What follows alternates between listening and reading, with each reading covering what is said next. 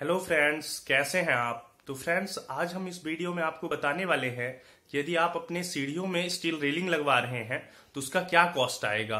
और यदि आप रेलिंग लगवाते हैं तो उस वक्त आपको क्या सावधानियाँ रखनी चाहिए? तो फ्रेंड्स यदि आप चैनल में नए हैं तो लाइक करिए चैनल को और सब्सक्राइब करिए।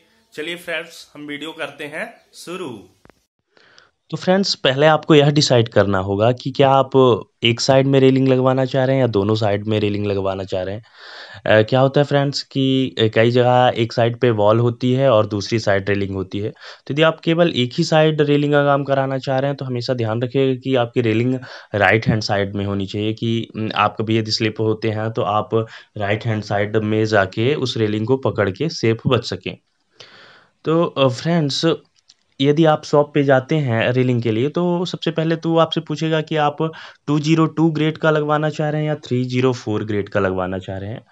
तो फ्रेंड्स मेरा सजेशन है, यदि आपकी रेलिंग घर के बाहर लग रही मीन्स जो बारिश का पानी है, उसके डायरेक्ट संपर्क में आने वाला है और मॉइस्चर जैसा कुछ इफ़ेक्ट पड़ने वाला है तो आप फ्रेंड्स फिर थ्री हंड्रेड फोर का means three zero four grade use करिए। क्योंकि फ्रेंड्स इसमें निकल कंटेंट ज़्यादा होता है, जो कि इसको स्ट्रॉन्ग बनाता है, और, जो जंग है, उससे हमें दूर करता है।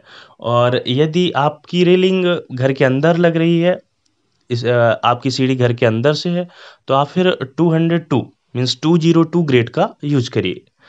अब फ्रेंड्स यदि बात की जाए तो दोनों के कॉस्ट में भी अंतर है। टू ज़ीरो टू हमें थ्री ज़ीरो फोर की अपेक्षा सस्ता मिलता है। तो यदि अब बात करें फ्रेंड्स कि, क्या आने वाली है कॉस्ट यदि हम अपने घर की सीढ़ी में रेलिंग लगवाते हैं तो इसकी कॉस्ट क्या आएगा? तो फ्रेंड्स यदि हम टू ज़ीरो टू की बात करें तो आपको ये फाइव हंड्रेड का पड़ेगा। और यदि थ्री ज़ीरो फोर की बात करें तो ये आपको सिक्स हंड्रेड से सेवन हंड्रेड पर रनिंग फिट में पड़ने वाला है। फ्रेंड्स ये स्क्वायर फिट पे नहीं चलता, इसका कॉस्ट रनिंग फिट पे रहता है।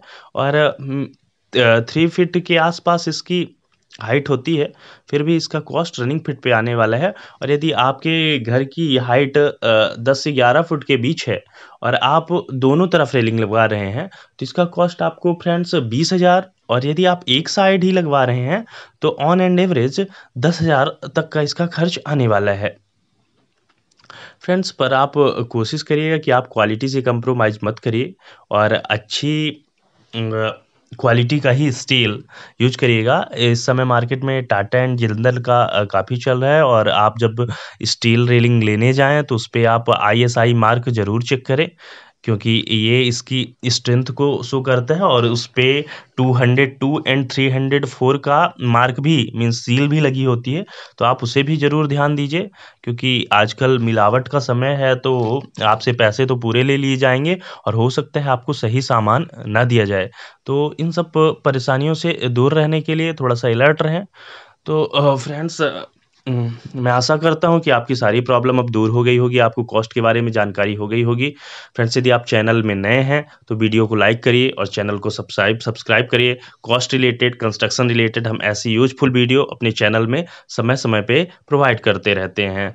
फ्रेंड्स यदि आपको अपने बालकनी में रेलिंग लगाने कॉस्ट जानना है तो उसका भी वीडियो हमारे चैनल में अवेलेबल है। Thank you friends